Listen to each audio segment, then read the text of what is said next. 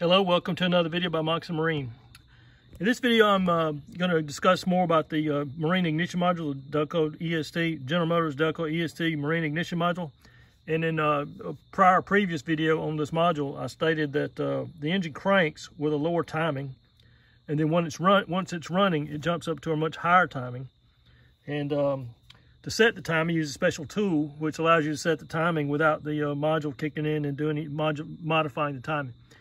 So um, I'm here to prove that, and um, I've already done a little bit of playing around here, and I've discovered something, uh, I won't say that's contradicting me, but it's, um, it's close to what I said.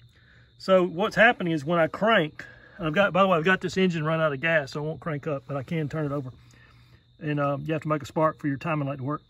So I've got this time mark, and uh, when I use the set timing tool, it's, it's, set just one degree before top dead center, just like the factory spec for a 4.3 V6. And with the timing tool installed, the, the, uh, the mark is right here where it's supposed to be. So once I removed the timing tool and ran the motor, it jumped way up there at about 18 degrees before top dead center, which is also where it's supposed to be when it's running. However, I, I wanted to see what it would do when it's cranking. So when it cranks, I stated in the other video that it would, would crank at the one degree before top dead center. I was incorrect. However, it doesn't it doesn't crank at 18 degrees. It cranks to what looks to me about four or five degrees. So I'm gonna go ahead and uh, crank this engine over and I'm gonna shoot it with a timing light and you'll see where it's uh, where the timing is when it's just cranking. Okay, go ahead.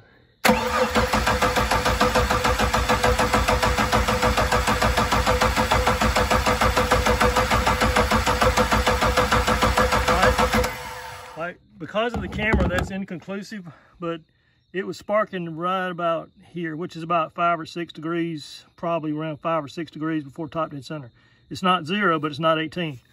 So I was correct that it does uh, spark or, or, crank at a much lower timing and then jumps up to uh, about uh, 18 degrees when once it's idling. So that's uh, so it, the marine modules do have a uh, special uh, curve in it for cranking.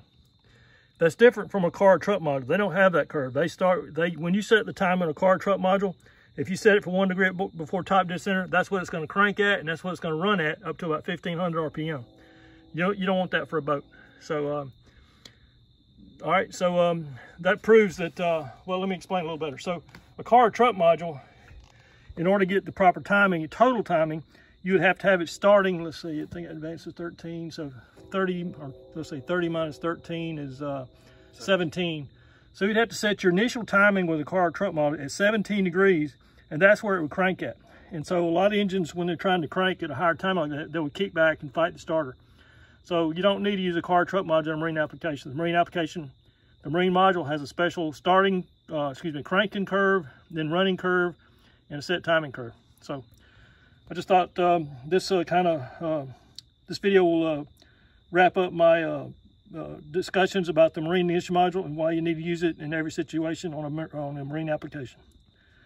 Subscribe to me if you enjoy, subscribe if you enjoy my videos and hit the like button and keep watching my videos.